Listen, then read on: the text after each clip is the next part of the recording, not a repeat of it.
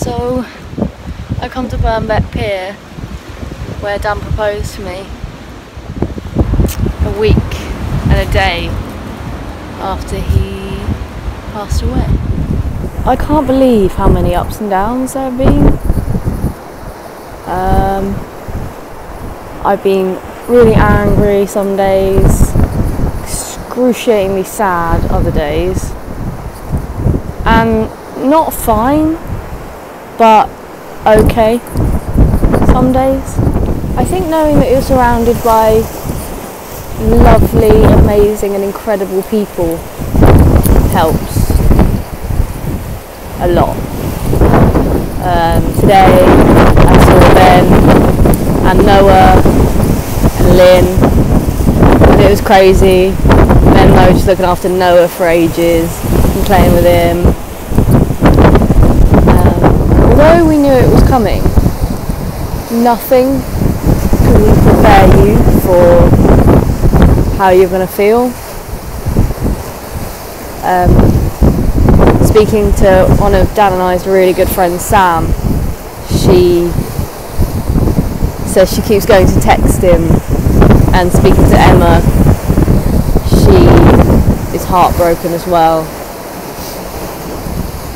And it's weird in this day and age, especially.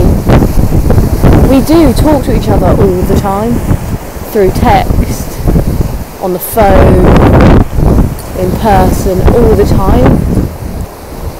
And when that person goes, you still almost expect to be able to text them. It sounds really silly.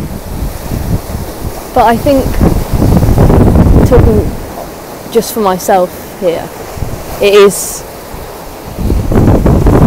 comforting to know that he doesn't have to go to any more hospital appointments.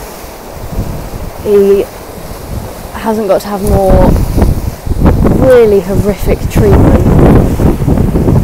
And he's not in pain anymore, which is amazing. When I started to go through some of the things at our house, he had a lot of medication. And I was looking at it all, this stuff kept you just okay. And if he forgot to take a tablet or change a patch, he was in excruciating pain. And I can't even begin to imagine living like that. I'm glad I got to call him my husband. And I've met so many amazing people through him. And now, even when I'm alone, I don't feel alone.